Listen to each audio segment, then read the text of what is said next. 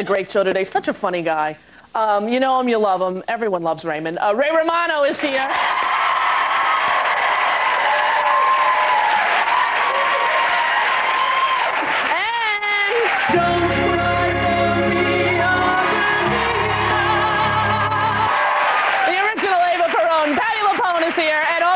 Club member. Don't go away. We got a great show. We'll be right back.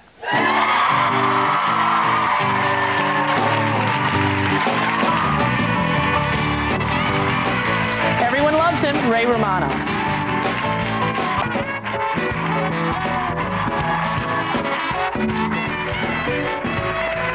Okay, this is a fun little game where I do a dramatic reading of the lyrics of a song. You belt out the next line for a prize. So let's play rock and reading, play rock and reading. Won't you play rock and reading? John, come on! Pay attention!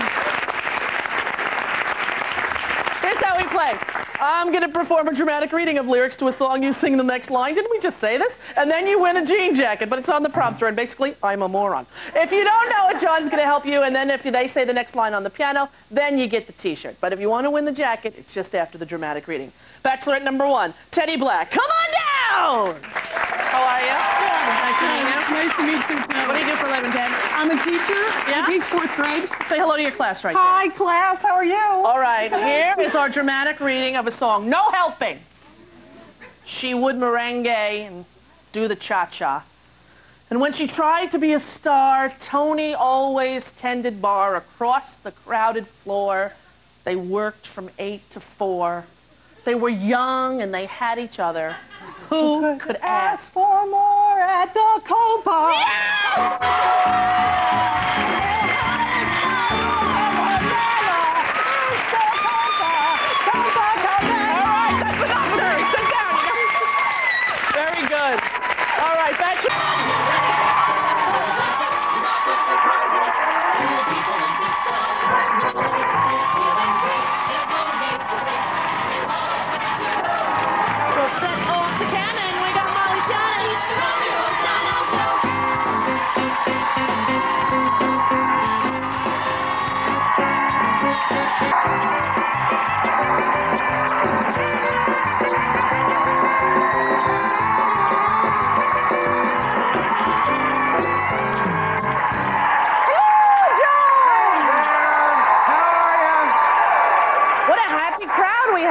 good. And yesterday, it's been great. Yes, the, the Happy Wednesday people. Very happy.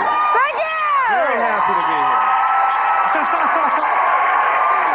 so great. Can we get a shot of the woman with the binoculars? Look at that woman with the binoculars. You're like literally uh, 60 feet from me and you have binoculars. What's your name? Hi, Teddi. What are you looking at? My nostril? What are you looking at? Come down here, Teddi. Sit here. You can be close. Come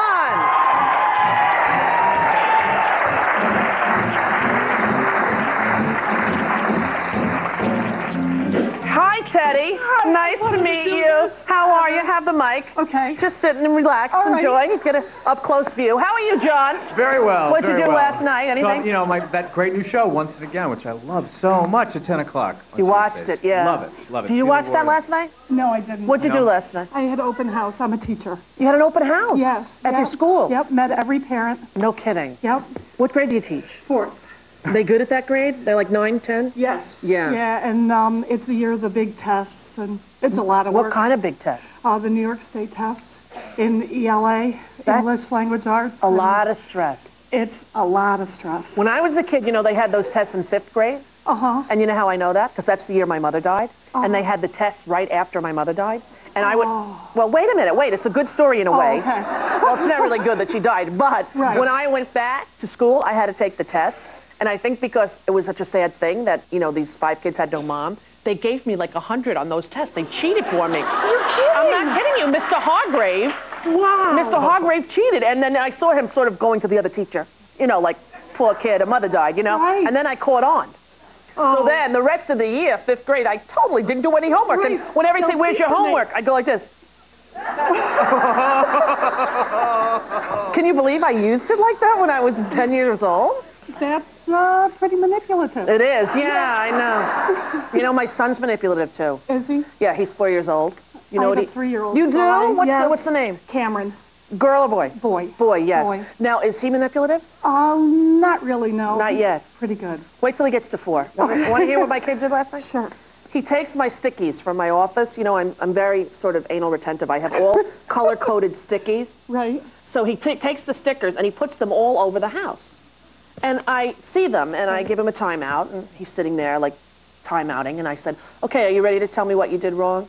He goes, Mom, I know you're upset, but I just wanted to make our house beautiful. Oh, how sweet is that? Manipulative, it's not sweet. Oh. Because then he knows I go, oh, oh honey. And then you see him like behind my back to his sister. she fell for it again. So you have one son? No, I have one son and one daughter. How old's your daughter? She's a year and a half. Oh, you She's see? adorable. Enjoyable, aren't they Yes. age? Oh, it, when she says instead of saying thank you, she says cuckoo. It's so cute. It's so adorable. Cuckoo? Cuckoo. Do you have any idea why? Uh, I'm not really sure. What are you going to do when she asks for cocoa? You're not going to know. Cuckoo or won't- uh, right, I won't know. So did you watch any TV? You didn't get to see any TV last night. no, because I was at open house all night, and then we left at four in the morning to be able to come here. Where do you live? Binghamton, New York. No kidding. You drove Yeah. all the way down. There's Yes. a SUNY up there. SUNY Right. Binghamton. Very good, I yeah. applied there. Did you? I did. Yeah, I got it's a in. Good school. I didn't go there. You didn't? No. No. I went to Dickinson College in Carlisle, Pennsylvania, Uh-huh. and I had a 162 grade point average. Oh. you know what that is? Yeah. Yeah. D minus. Yeah. Doggy dash. You know why? I'll tell you why. This is what Why? happened. I went to environmental science. We had Mrs. Nelson, and I grew up in New York.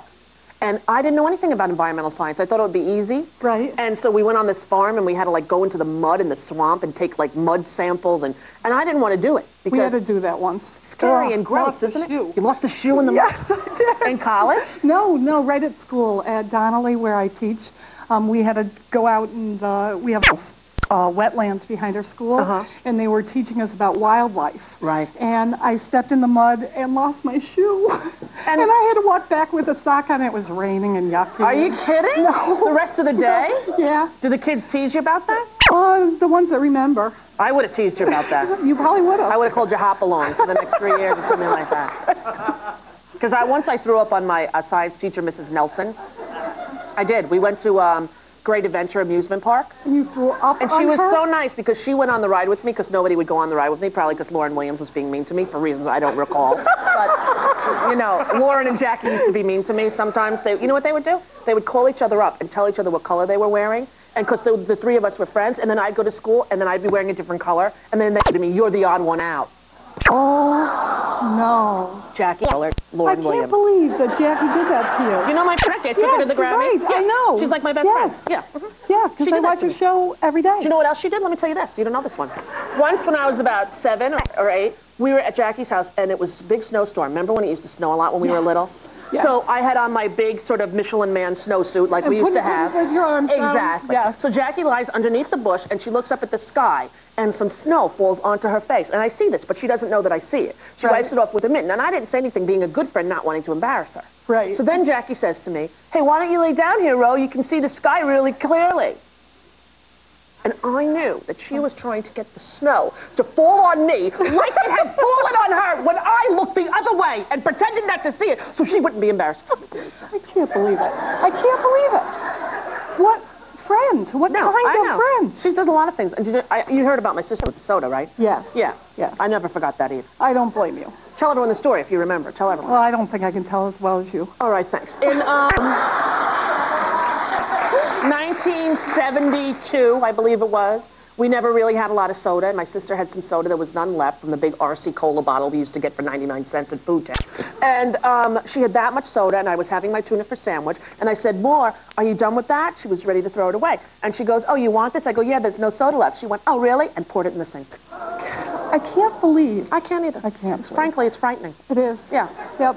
Sisters and friends. I know. Can't live with them, can't live without them. It's a good thing that you and I met each other because we're pretty much perfect and we could be friends. We could. Yeah. Absolutely, I agree. Can I Yep. try your binoculars? Sure. Thanks. Let me just try Look these. at the lady in the back row. right there with the red shirt on. Yeah, who's that?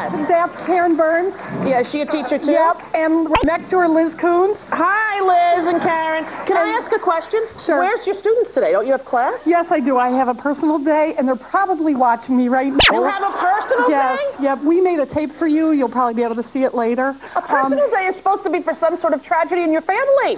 No, no, we're, we have those too. Oh. Those are bereavement days. Those are bereavement days. Yes, yes. This is just feel like hanging out with Rosie Tough on You Kids Day. well, Lord, not exactly Oh my goodness. Not How many kids in your class? Um, I have 24. All right, I'll give you 24 Rosie O'Donnell t-shirts so you don't get in trouble when you go back. Oh, you are the greatest. Give me a. Thank you. Go back to your seat. I have to do a show. Okay. Give me the mic.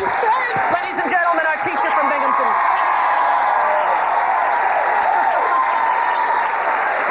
Well, I had stuff to tell you about, but I can't tell you now. We'll have to wait. I'll tell you tomorrow. Okay. We, you know, Hey. sometimes just things. Look at other people going. I have binoculars. Pick me. Right?